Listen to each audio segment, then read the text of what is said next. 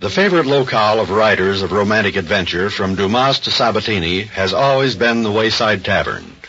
One of their favorite periods has been the Napoleonic era, and the same locale and the same historical period provide one of the most baffling true stories in all the chronicles of the strange and incredible.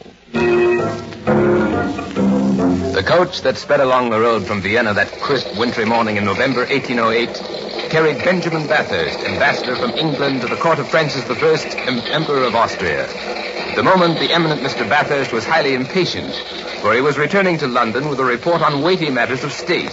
His secretary, who sat beside him in the coach, listened patiently to his complaints. What's the matter with the blasted creatures, Palmer? I'm afraid we need fresh horses, sir. Well, then, let's get fresh horses. We'll find the nearest inn and change horses there.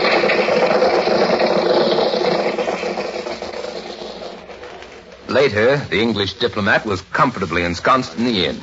He had scarcely finished his third mug of ale when his secretary approached the table. The horses are harnessed, sir. Very well. I'll go out and look them over. Settle my account with the host, Palmer. Having paid for the beer, the secretary followed his employer out onto the street in front of the inn.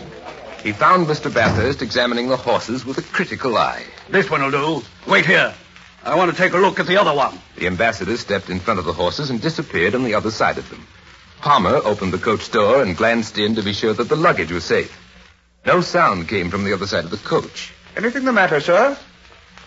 Mr. Bathurst. The secretary hastened around to the other side of the carriage to see what had happened to his employer.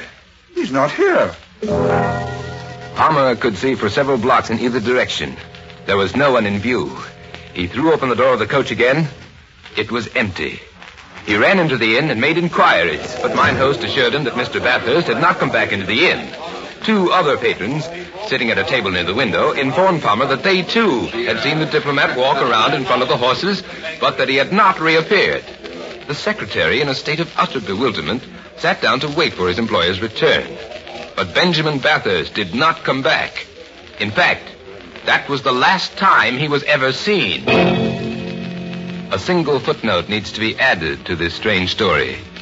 On January 23rd, 1810, more than a year after the British ambassador's sudden disappearance, a small and inconspicuous item appeared in a Hamburg newspaper.